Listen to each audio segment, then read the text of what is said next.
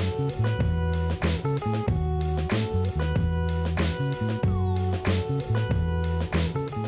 Hola, bienvenidos al programa. En un minuto nada más vamos a estar eh, compartiendo un informe que elaboramos sobre Fripur, la empresa pesquera más importante que ha tenido el Uruguay en las últimas décadas, que ha cerrado sus puertas, que ha generado una incertidumbre muy fuerte, sobre todo para más de 900 trabajadores que no saben qué va a pasar justamente con esa planta. Estuvimos recorriendo el lugar, viendo las dimensiones que tiene, son tres manzanas que están eh, ubicadas aquí en Montevideo, donde funcionaba esta planta de procesamiento de pescado. Hablamos con los trabajadores, historias de vida muy fuertes, porque hay empleados que están desde hace más de 30 años allí y que hoy participan de una especie de ocupación de la planta a la espera de una resolución, por lo menos que dé algunas respuestas a la situación que están viviendo. Vamos a hablar del presupuesto nacional, ha sido el tema político de estas últimas horas, dentro del Frente Amplio se han generado algunos cortocircuitos, resquemores, porque hay básicamente tres diputados que no votaron determinados artículos del presupuesto, son tres en total, los más emblemáticos, un, eh, artículo que habla sobre un recorte de 50% de las vacantes en el ejército, de soldados básicamente, y otro que habla de unificar la policía caminera con la Guardia Metropolitana, algo que también rechazan estos tres legisladores. Va a estar con nosotros Víctor Semproni, que es uno de ellos, una especie bueno, de legislador rebelde dentro del Frente Amplio que ha dado mucho que hablar. Entre otras cosas, habrá que ver si van o no a un tribunal de conducta política por no haber aceptado el mandato de la mayoría dentro de la Cámara de Diputados que está terminando de votar el presupuesto en estas horas. También tendremos un legislador de la oposición que vendrá a plantear bueno, la mirada que tienen hoy desde el Partido Nacional concretamente sobre este presupuesto puesto que ha elaborado la izquierda y cuál es la expectativa que le genera concretamente las cuentas para los próximos cinco años. Pero comenzamos el programa, como siempre, viendo lo que ha pasado en la semana con los ojos de poder pensar.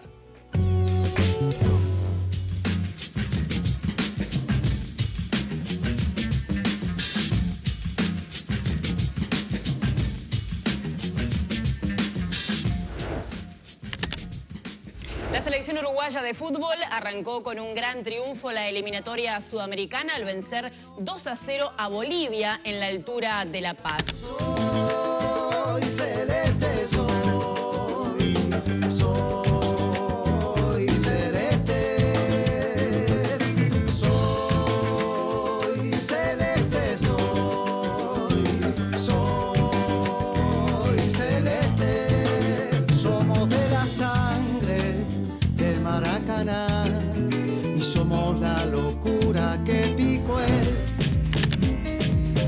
El sindicato médico anunció que a partir de 2016 habrá un laudo único para todos los médicos del país en el sector privado, tras el acuerdo firmado en el Consejo de Salarios del sector. Un médico desempeñándose en Montevideo o en el interior va a tener condiciones de trabajo, de ejercicio profesional y de remuneración idénticas. Acompañar este, este, esta unificación del laudo en el sector privado con la unificación del laudo del sector público a este nuevo laudo y por lo tanto ahí sí tener un único laudo independientemente del sector y ya no solo no, que no haya diferencias entre Montevideo Interior, sino que tampoco las haya entre el sector público y privado, pero bueno, eso forma parte de las negociaciones que todavía aún tenemos pendientes. El representante de los trabajadores en el Banco de Previsión Social asegura que los nuevos jubilados cobrarán 30% menos que los actuales como consecuencia del sistema previsional mixto. Lo que, lo que marca la realidad es que esos trabajadores cuando se comparan lo que van a percibir ellos, cuando lo comparan con alguien que se jubiló solamente por el BPS porque no estaba obligado a estar afiliado a una FAP, encuentran que hay una diferencia que puede llegar hasta el 35-30%, donde sí, de alguna forma, queda evidente que este sistema fracasado es cuando vemos el resultado de las jubilaciones que tiene esta generación. El Día del Patrimonio se ha consolidado como una celebración de dos jornadas en la que cada edición suma variedad de actividades.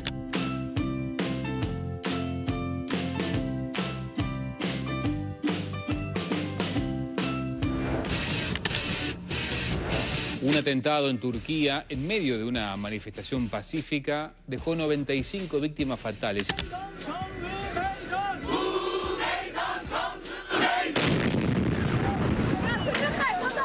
Se trata del peor atentado de la historia de Turquía, perpetrado este sábado contra una manifestación pacífica convocada por la oposición procurda a tres semanas de las elecciones legislativas anticipadas. Luego de casi 15 horas de debate y con diferencias dentro del propio Frente Amplio, con 50 votos en 90 legisladores presentes, quedó aprobado entonces el presupuesto nacional. Ayer el plenario de la Cámara de Representantes votó luego de 15 horas de discusión, con 50 votos del Frente Amplio, el proyecto de ley presupuestal para el periodo 2015-2020, que en esta jornada comenzó a discutirse artículo por artículo. Son más de 700. Más allá de que el número estuvo, la incógnita está planteada sobre si los diputados Pérez, Mier y Semproni, que está como suplente de Frati que pidió licencia por estos tres días, votarán o se retirarán de sala para no apoyar algo que no comparten. El gremio de docentes de secundaria de Montevideo advirtió que va a realizar paros cada vez que un afiliado sea procesado por la justicia por los incidentes del Códice. Esta resolución indica que en caso de que la jueza Ana de Salterain llame a declarar más compañeros que hayan estado involucrados, se paralizarán las clases de manera parcial y se convocará a una concentración en la puerta del juzgado. El candidato presidencial argentino, Daniel Scioli, se encuentra en Montevideo por algunas horas. Esta mañana fue recibido por el presidente Tabaré Vázquez. Forma parte en un lugar prioritario en mi agenda de trabajo que tiene que ver con el capítulo del gran desarrollo argentino, la integración, la complementación con Uruguay. De alcanzar la presidencia, eh, me acompaña el Ministerio de Interior y Transporte, donde están las políticas migratorias, donde está la agenda de los ferrocarriles, que es un tema clave también para dar alternativas al transporte urbano, al transporte eh, de cargas, y esos son los temas que hemos abordado con el presidente, el señor canciller y los embajadores de nuestros países.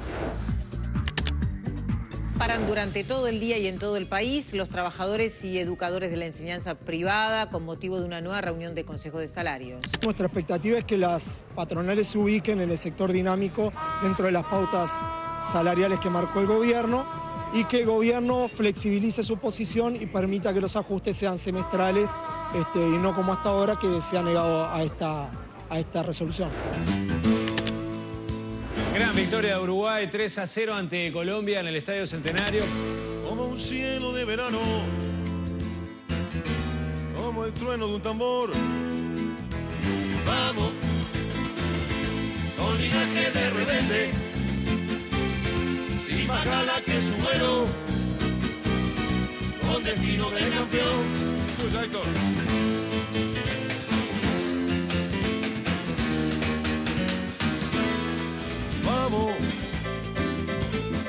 Dice el negro jefe, los de afuera son de palo. Que comience la función. Vamos, vamos, vamos, vamos, vamos, vamos, vamos arriba. Vamos arriba la.